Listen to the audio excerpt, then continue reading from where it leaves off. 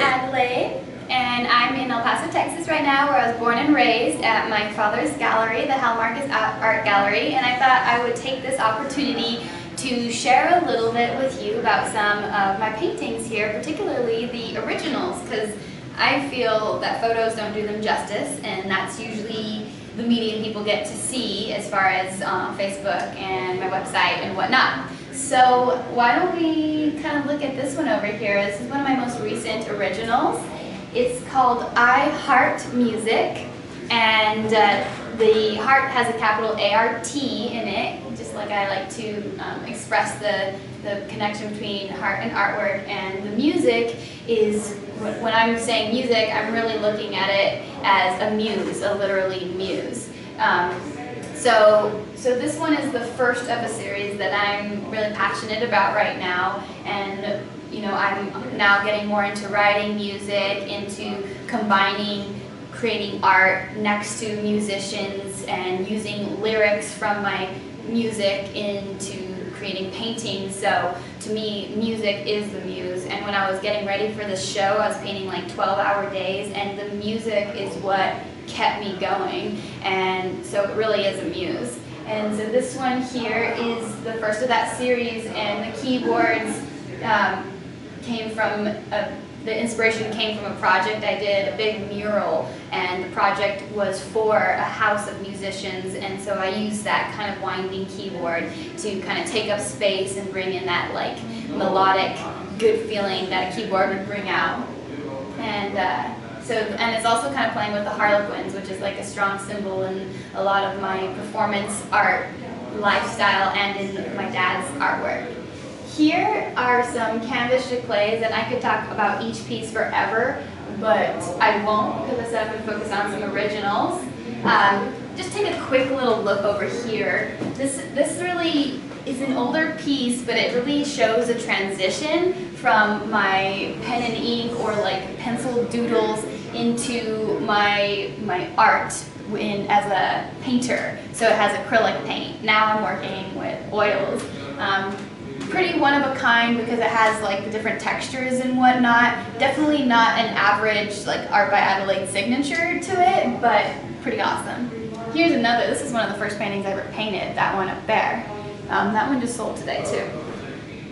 Moving on, um, I won't take, you know, let's, yeah, let's go ahead and just straight shot over here. This is another one that just sold. I didn't even have her on my wall for a day. Um, but it's called Equilibrium, and I created it at a time in my life that I felt like I'm branching out, you know, in all different directions and growing and evolving as people do. But as much as that is happening, I'm feeling more and more and more need, for the sake of my own sanity and creative focus, to keep grounding down. So I really wanted to do a piece that showed the roots being just as um, large as the branches. Because if you think of a tree, a big, beautiful tree in the wind, well, the bigger the tree is, the more the wind has a chance to blow it over because that weight once it gets tipped. So I don't want to be, you know, a large tree without roots that can easily be blown over. So this is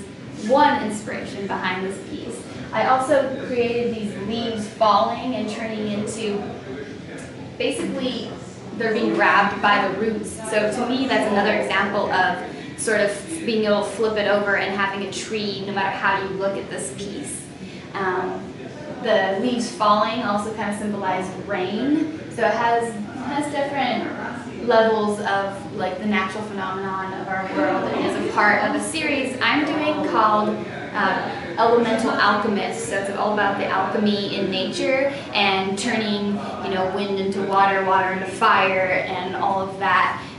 Because um, alchemy is a magic that is a big part of my life and a big part of my art and heart with capital A-R-T. Got that? All right. So moving on. Um, sip into creativity so you can dip into it, like you're swimming like a diver, or you can sip into it. It really doesn't matter. This is a play on words. They're all a play on words.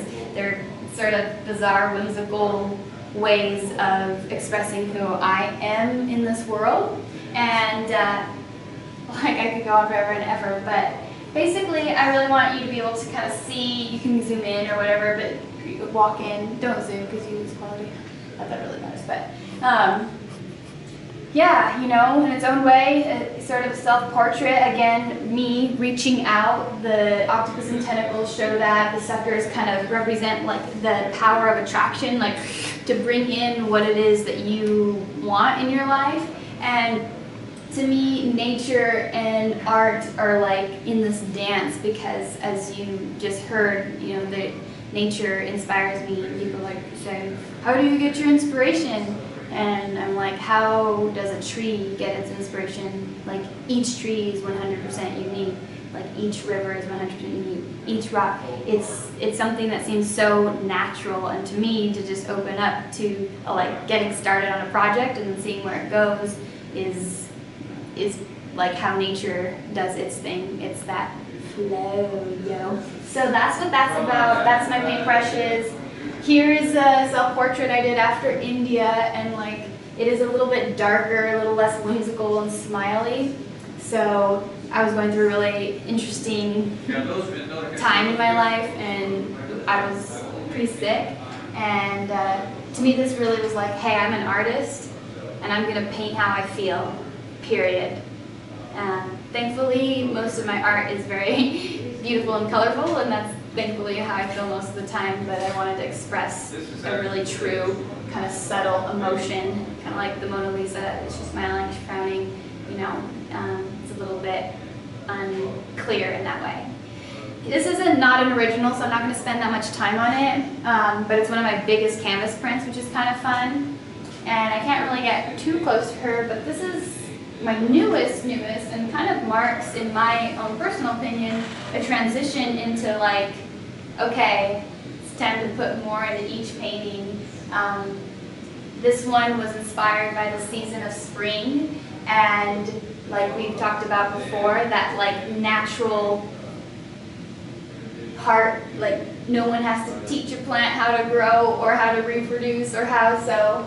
Here is, is a very sensual and sexy example of how we continue to continue to keep generating. So the plant is pollinating the earth, and the earth is her, and so it is a little bit, you know, orgasmic in that way, where there is that cycle of pollination, regrowth, and regrowth. But she's like Pachamama, you know, she is the woman of the, of the earth, and she's opening up her chest to show the sky in there and also to show that the plants are literally coming through her. She's not on the ground, she's not above the ground, she is the ground. And, um, you know, in its own way, that expresses where I'm feeling I am at as a woman and coming into that just acceptance of the power of being able to recreate life and to accept you know, sperm or pollination into a body and alchemize that into a human being. It's really beautiful and it's a beautiful thing, it's a beautiful painting. Hope you enjoy. I think we're getting at that mark, so I try to get a lot of information out really fast, but I hope that this gives you a little better um, idea of some of my inspiration of my current work, and once this all sells, which will be very soon, um, there'll be more. So keep your eye open and subscribe to my YouTube channel if you're interested in all of the above, music, art, dance, and uh, magic. Who knows what else.